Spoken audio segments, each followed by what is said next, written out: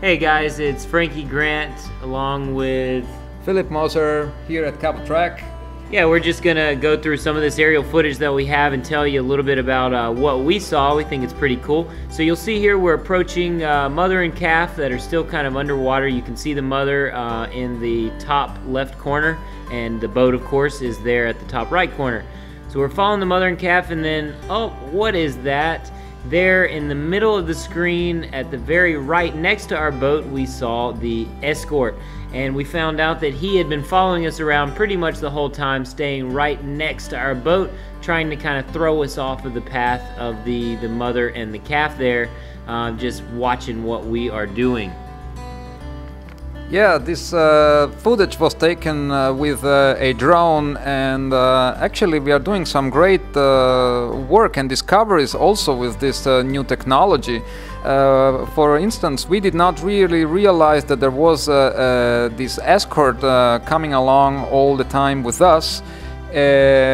even with the drone, it was not possible to see. The, the, goggles actually that I use are very small, and here uh, you can clearly see that the whale's coming up and that's where the boat actually stops and everything stops. So yeah that was uh, that was very very exciting. We were really uh, surprised when the when we saw the escort but it's clearly uh, cool footage.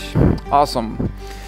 Yeah and uh, going along the next footage we can I'm following here a mother with a calf and uh, you can tell uh, in a few seconds when the newborn calf is coming up to the surface to breathe um, that it's uh, probably a newborn eventually one to two week old and is trying to build up strength. Um, yeah here it is. Nice little blow with a yeah with a blowing rainbows. Beautiful. Okay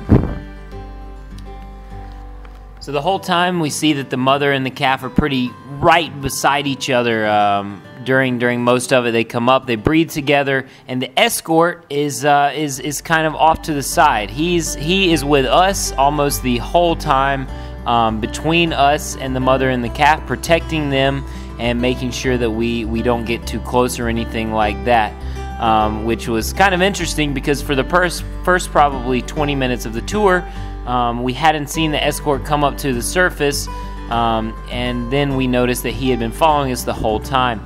So you see here the mother and the calf make a quick 180 turn right beside the boat almost as we're stopped. Uh, we just kind of cut the boat in neutral so that we don't pose any threat to these whales and then let them uh, change their course and then you know we, we catch up to them afterwards.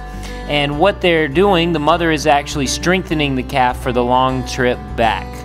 Thank you so much. This is Frankie Grant um, with Cabo Trek along with Philipp Moser. All right, keep us following and uh, have a great time. See you later.